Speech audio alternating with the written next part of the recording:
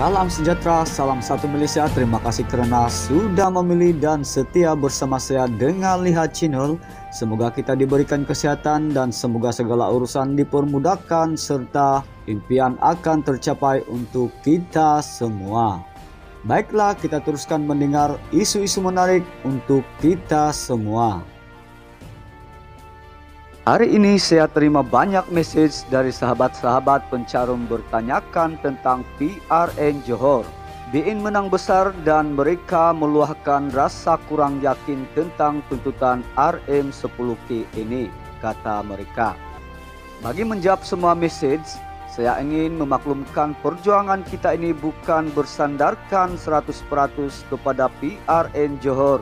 Sebelum PRN pun kita telah perjuangkan betapa pentingnya pencarum memerlukan tuntutan RM10K ini bagi kelangsungan dan kelestarian hidup.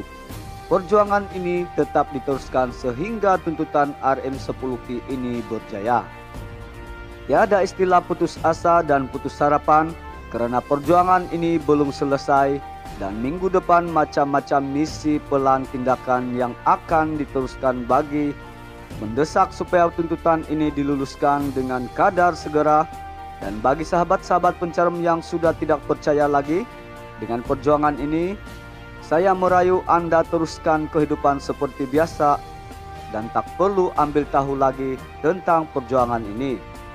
Bila dah luluskan masuk saja portal dan mohon kepala tak pening asik membuat macam-macam persepsi dan propaganda dan akhirnya akan menyakitkan diri.